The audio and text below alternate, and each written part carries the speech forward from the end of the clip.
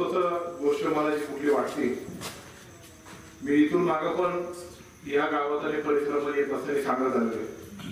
मी मागच्या जिल्हा परिषदच्या निवडणुकीला या लोकसभेच्या निवडणुकाला आणि त्याच्या आधीच्या निवडणुकीला पण मी सांगत आले तुम्हाला कोणाला माझं वाक्य आठवतं का नाही? नीट ऐकून म्हणजे आठवून बघा. मी सांगायचो की निवडणुका आपण अनेक पाहिल्या. असंही निवडणूक चालू आहे. पुढे निवडणुका पाहणार पण या सगळ्या निवडणुकांच्या पेक्षाही सगळ्यात मोठा संघर्ष आपला कुठला करायला लागणार आहे? तो म्हणजे पाण्याचा. आणि तो पाण्याचा संघर्ष आता आपल्याला करावा लागतो. बरोबर आहे आमचं जमीन येडगाव धरणाच्या शेजारी. तरी सुद्धा आम्हाला त्याचा त्रास सहन करावा लागतो पाणी होतं का? पाणी होतं पण ते नियोजन नीट नाही. जवळपास त्या कमरे एवढ्या काळापर्यंत खूप आतमध्येपर्यंत मोटर टाकायला लागले. त्या कसरतीमुळे दोन तर माझे शॉक लागून गेले. म्हणजे सगळीकडं हा जो प्रसंग उडवला गेला तेव्हा प्रत्येकाच्या मुख्यात मुखात एकच वाक्य संपूर्ण तालुक्यामध्ये वल्लभ शेठ वेलके कार्यरत असते ते हे दिवस आम्हाला पाहायला भेटले असते. आजपर्यंत वेलके साहेबांनी जे नियोजन केलं त्या बाबतीत पाण्याच्या बाबतीत सगळीकडे आले गेलो. मग मानेगडूचं पाणी कसं सोडायचं? कसं त्याचं लिकेज ठेवायचं? का नाही ठेवायचं. तर कसं मार्गाने माझ्या सगळ्या शेतकऱ्यांना पाणी मिळेल. जुन्नर शहरापर्यंत गोळेगावपर्यंत कोमशेतपर्यंत तेजेवाडीपर्यंत. पर्यंत पर्यंत हे अचूक त्यांना सगळी गोष्टी माहीत होत्या. होते काय नव्हत्या? आपण पाण्याचा संघर्ष आठवा. जेव्हा अनेक शेतकरी फोन करायचे साहेब पाणी चालले पाणी चालले पाणी चालले पाणी थांबवा पन्नास दिवस झाले पंचावन्न झाले साठ झाले पाखरण झाले चौकस झाले. शेवटी ह्या सगळ्या चारी पाची गावाच्या लोकांनी एकत्रित निर्णय घेतला आणि मानेगाव खात्यावर आंदोलन या चारी पाची गावाचे नेतृत्व अशोकराव गोलप होते. सगळ्या पक्षाचे लोक सर्व शेतकरी. आणि ते आंदोलन मोडकळीस या तालुक्याच्या लोकप्रतिनिधींनी आणलं त्यांनी असं सांगितलं की जुलैच्या शेवटच्या दिवसापर्यंत मी तुम्हाला व्यवस्थितरित्या पाणी पोहोचावं सांगितलं काय नाही सांगितलं? मग ते शिवसेनेचे संतोष खंडाळे असतील किंवा आमचे संजय राणा असेल किंवा अजून एक कोण असं काय म्हणायला लागले का म्हणजे राजकारण करायचं नाही. मी कोण आहे? आमदार. स्टँडिंग आमदार आहे माझ्यावर खूप मोठी जबाबदारी असते. हे सगळे भान आहे का नाही तुम्हाला? मी बोलतो म्हणजे तसं होणार. म्हटले का नाही म्हटले? मग अशोक दादानी काय म्हणले? आमदार एवढं म्हणतात तर जाऊ द्या. सगळे नेता शांतच आहे का? एवढं म्हणतात पाणी. देणार. तर जे व्हायचं तेच झालं. पाणी सोडलं. का मोटरीचे कनेक्शन आणि जरी लाइट असली तर एमएससीबी वाले इरिगेशन वाले आणि पोलीस डिपार्टमेंट वाले मोटरी जोडून टाकायला इकडं आपल्या सगळ्या बांधा इकडे व्होल्टेज कमी दिलं लाईटीचं व्होल्टेज कमी सोडायचे मोटारी चालायच्या नाही. उन्हाच्या पिकामध्ये आपल्या तालुक्याचा शेतकरी जो समृद्ध होतो त्यांना त्यांचं भांडवल सुद्धा निघालं नाही. अशा प्रकारचा नाक त्रास त्या लोकांना सहन करावा शेवटी हा संघर्ष फक्त याच परिसरात होता सगळीकडे होता. खालचे आमदार आणि खासदार त्यांची काय भाषा आहे ती पोपट महाराज इथे व्यक्त करून दाखव मी पण ते आहे इतके मुजोर आणि इतके मोहरूची भाषा आहे. कोणाच्या बापाचा बाप जरी आला तरी बेडे ठोकून पाणी घेऊ ही काय भाषा झाली का? आणि मग जर ते जर खरंच असे जर वागणार असेल तर आपण काय काय ते ते जुन्नरचा आहे शिवसेनेचा आमदार आपल्याला काही पाण्याची काळजी नाही. दोन वर्ष एकदम मोठीमध्ये पाणी मिळालं अशी जर त्यांचं वागणं असलं तर अशी जर त्यांची वर्किंग स्टाईल असेल अशी जर त्यांची काम करण्याची पद्धत असेल तर या सगळ्या संकटातून आपल्याला एकच माणूस वाचू शकतो ज्याचं नाव आहे शरद पवार. शरदचंद्रजी पवार साहेबांचं जे धोरण आजपर्यंत शेतीसाठी आणि आपल्या जुन्नर तालुक्याच्या पाण्यासाठी राहिलेले आणि त्यांच्या मार्गदर्शनाखाली बेंके साहेबांनी जेव्हा जेव्हा जे जे इथलं कार्य केलेलं आहे ते पाण्याच्या बाबतीत असतील ह्या सगळ्या गोष्टी ज्या असतील बरं पाणी गेलं तर गेलं कार्यालय आपली गेली होती. बरं ते कार्यालय जर परत आले नसती तर आपल्या हातात काही नसतं राहील. मग ते जर आता ओढत का तसं आपल्याला ओढत राहिलं. म्हणून पराकोटीचा संघर्ष केला. आंदोलन केलं. कोर्टात याचिका दाखल केली. पण आपले कार्यालय आपण परत आणले. आणले का नाही आज एकतीसाव्या दिवस तुम्ही मी घराच्या बाहेर. आहे. नऊ सप्टेंबरला आंदोलनाची सुरुवात झाली. त्या दिवसापासून आजपर्यंत मी घराच्या मी जिथं जाईल तिथं राहत. त्या लोकांना त्या गोष्टी समजून सांगतो. मी पाण्याचं नियोजन आणि पाण्याच्या जागर होण्यासाठी मी सगळीकडे बाहेर थांबतो. ज्याच्या माध्यमातून आपल्याला तालुक्याला काय दिशा द्यायची कशा पद्धतीने काम करायचंय हे मी तिथं समजून सांगतो. आणि मागच्या एक दोन आठवड्यापूर्वी तुमच्या गावामध्ये जेव्हा लोकप्रतिनिधी आले आणि सर्वसामान्य माणूस म्हणून एखाद्या व्यक्तीने एखादा प्रश्न विचारला. आता सत्य तर काही मी नाही जो जबाबदार खुर्चीवर माणूस आहे त्यालाच प्रश्न विचारला. उद्या मी आमदार झालो एखादी गोष्ट राहिली तर तुम्ही मला विचारलं ना काहून दुसरं विचार. एकदा विचारणा केल्यानंतर आपलं अपयश झाकण्यासाठी जी संतांची आपली भूमी आहे अशा एका चांगल्या व्यक्तिमत्वाला त्यांनी ज्या ज्या पद्धतीने ते बोलले ज्या पद्धतीने ती भाषा वापरली ती माझ्या कानावर आली. अनेक लोक म्हणले की तुम्ही इथं या. म्हणजे मी जर त्यावेळी तिथं आलो असतो तर निश्चित प्रकारे इथला राजकारणाचा वळण लावला असता ना. तुम्ही तुमचे गाववाले आहेत गाववाल्याने एकत्रित फिरले काय घ्यायचं तो घ्या. तुमच्या मताशी मी सहमत आहे. त्याच्यामध्ये मला कुठल्याच प्रकारचं राजकारण सुद्धा नाही.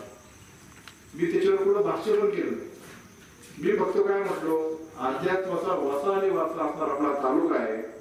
आणि जो माझ्या या तालुक्यातल्या तरुण महाराजावर जी घटना घडली त्याचा निषेध म्हणून मी वारकऱ्यांचा फेटा बांधून फॉर्म मारला.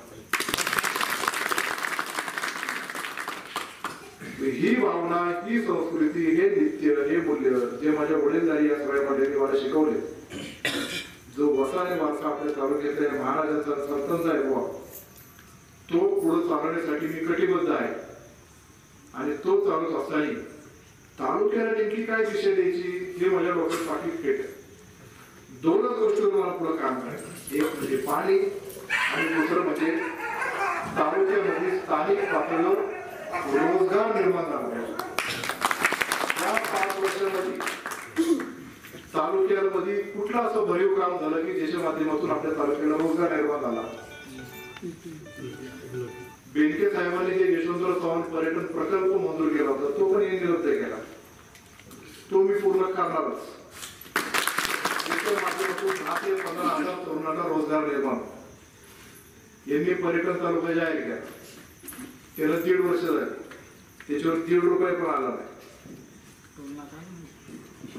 इकडे कांदळीला आपण एक स्मॉल स्केल इंडस्ट्री बेनके साहेबांनी निर्माण केली पन्नास फॅक्टरी तिथं काम चालू आहे आता. दोन हजार कामगार तिथं काम करतात. आता त्याचा दुसरा टप्पा मी चालू करणार म्हणजे अजून दोन अडीच हजार तरुण तिथं कामाला लागतात अशा प्रकारचं मला काम करायचं. या मानेकडो धरणातून जेव्हा अंगले साहेबांच्या माध्यमातून आपण इथे गेटी बंधाऱ्यात काम मंजूर केलं? यांचे ते बऱ्यापैकी सत्तर ते ऐंशी टक्के काम त्यांनी त्यांच्या आवाज छापले. त्यांच्या आवाज छापली की मी केलंय मी केलंय मी केलंय.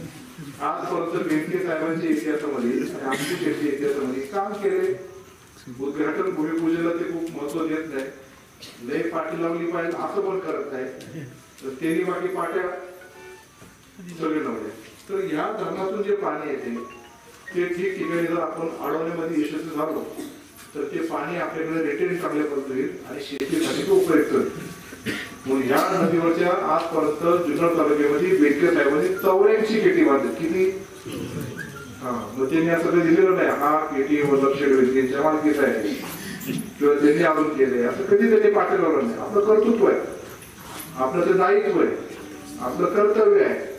त्या हिशोबाने ते करत राहिले. त्या हिशोबाने ते पण करतात. तिथून पुढं ते मी पण करणार. कुठे पैसा जनतेचा आहे. आम्ही निमित्त मात्र कारण नाही ते पांडुरंग आमच्या हातून करून देतो. हे असं मानणारे सगळे लोक आहेत. म्हणून रोजगार निर्माण झाला पाहिजे. साफ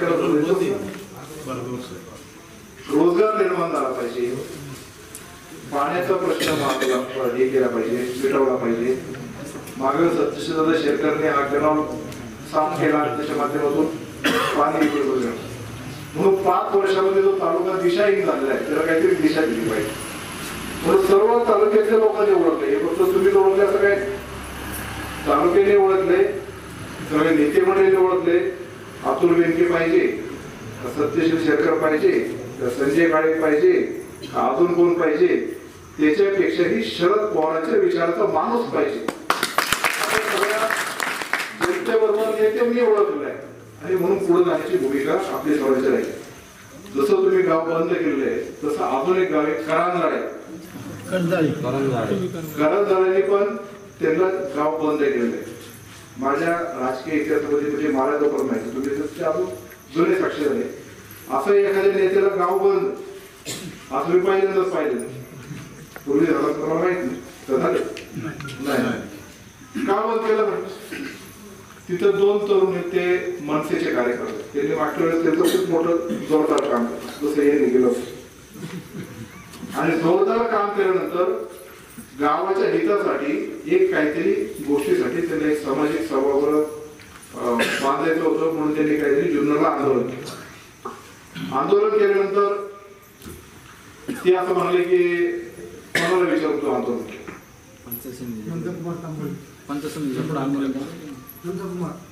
नंदकिशोर जगताप. कोणाला विचारून आंदोलन केलं? ते म्हणले नाही माझा पक्ष मनसे आहे तुम्ही मनसेचे आमदार असता मी आधीपासून मनसेचं काम करतोय. मी माझ्या पक्षाचे होते आलो होते. तुला परमिशन कोणी दिली म्हणजे पक्ष तुझ्या बापाच आहे का? आहे ना ते टीव्ही टीव्हीला पण वाचले आणि अशी जेव्हा ते वाक्य त्याने वापरले तेवढे याला तर आपण निवडून दिला वाटतं. आणि लगेच त्यांनी माझी भाषा वापरली. त्याचे जे वडील आहेत, ताराचंद जगताप ते कायम बेंके साहेबांच्या विरोध होते ते पण आता आपल्या आहे. त्यांनी असं सांगितलं की ते आमच्या पोराला असे म्हणते की पक्ष तुझ्या बापाचा आहे का? मग नाही त्यांच्या बापाचा मग तुझ्या बापाचा. काय म्हणते नाही आमच्या पोराच्या बापाचा तर तुझ्या बापाचा. मग तुझ्या बापाचा पक्ष तू त्या पक्षाचा आहे आणि मग तू जर शिवसेनेत गेला नाही तू बापाला का नाही?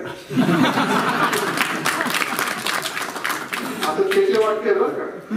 हे माझे नाही हे साक्षी बरोबर आहे का? असे ते म्हटले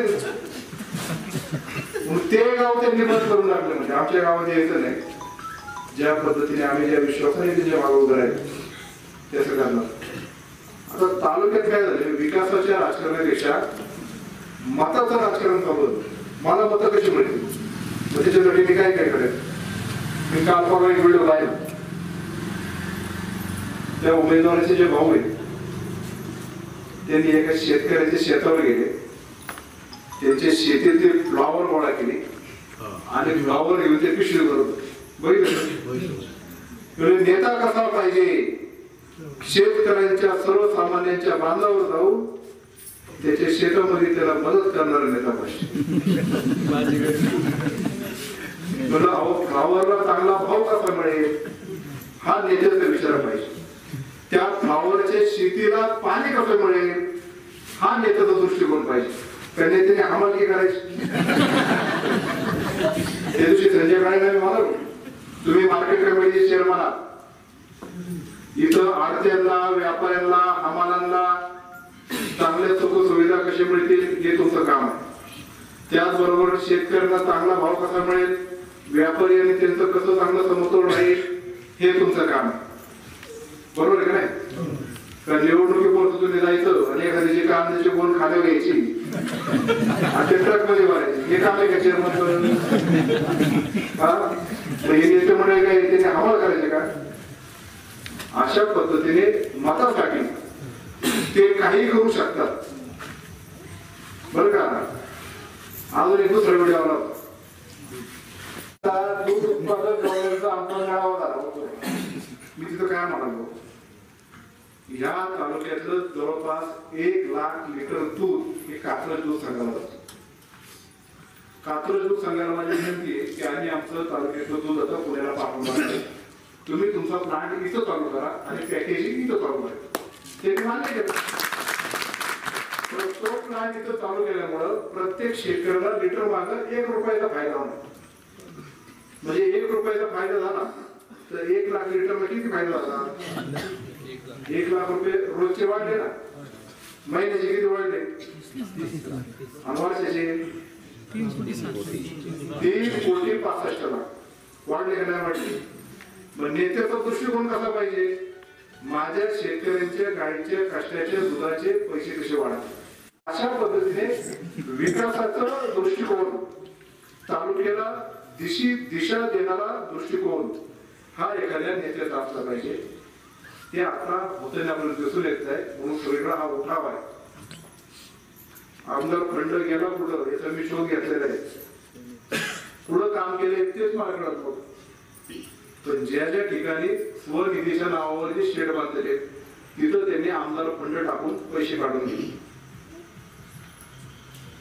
पैसे फंडाचे म्हणजे जनतेचे पैसे. करा ना आम्हाला अभिनंदन करतो आम्ही तुम्ही हे चांगलं काम केलं. पण स्वतःच्या खिशाचे पैसे सांगतात जनतेचे पैसे वापरतात. जनतेचे पैसे सांगायला त्यांना काय लाज वाटते का? बरं काम आहे त्यांनीच करायचं म्हणजे ठेकेदार पण दिस म्हणजे किती फसवायचं तालुक्यातल्या लोकांना? याला काही सीमा आहे का नाही? अशा अनेक गोष्टी आपण आता ते उघड करत चालू आहे म्हणून भविष्यातला जुन्नर तालुका जर घडायचा असेल तर निश्चित प्रकारे पवार साहेबांनी जी मला उमेदवारीच्या बाबतीपासून संधी दिली आहे या पिंपळगाव सिद्धनाथ विठ्ठलवाडी परिसरामध्ये सर्व तुम्ही जे तरुण आहात. तुम्ही जो विश्वास दाखवलाय तुमचा विश्वास शंभर टक्के मी सार्थकी लावणार. या उभं आहे शहरात तीळ मात्र तडा जाऊन देणार नाही. ही जी नवीन मंडळी आता राष्ट्रवादी झाली एका पक्ष प्रवेशाला आराम पाठवत आले ज्यांनी पक्षात प्रवेश केला त्याच्या बाबतीत आर पाटील काय म्हणले माहिती? जग मारली मी राष्ट्रवादीला आलो अशी तुमची भावना होऊन देणार नाही. अशा प्रकारचं सन्मानाची वागणूक तुम्हाला राष्ट्रवादी काँग्रेस पक्षाच्या माध्यमातून मिळेल. आता कसं आहे.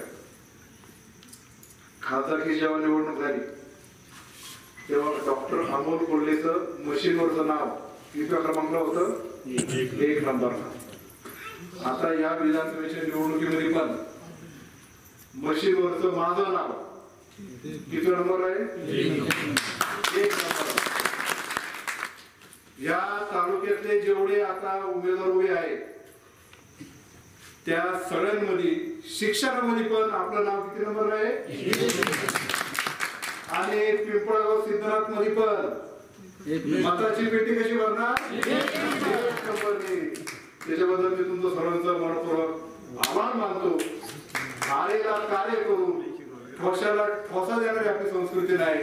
पण जो अपमान या गावचा मी म्हणणार नाही या तालुक्याचा मी म्हणणार नाही पण संतांच्या भूमीचा जो अपमान अशा अपप्रवृत्तीच्या व्यक्तीने जो केलेला आहे तो आपल्याला मताच्या रूपाने हा दाखवणं द्यायचा आहे. आणि थांबतो. जय हिंद. जय महाराष्ट्र जय शिवराय जय राष्ट्रवादी.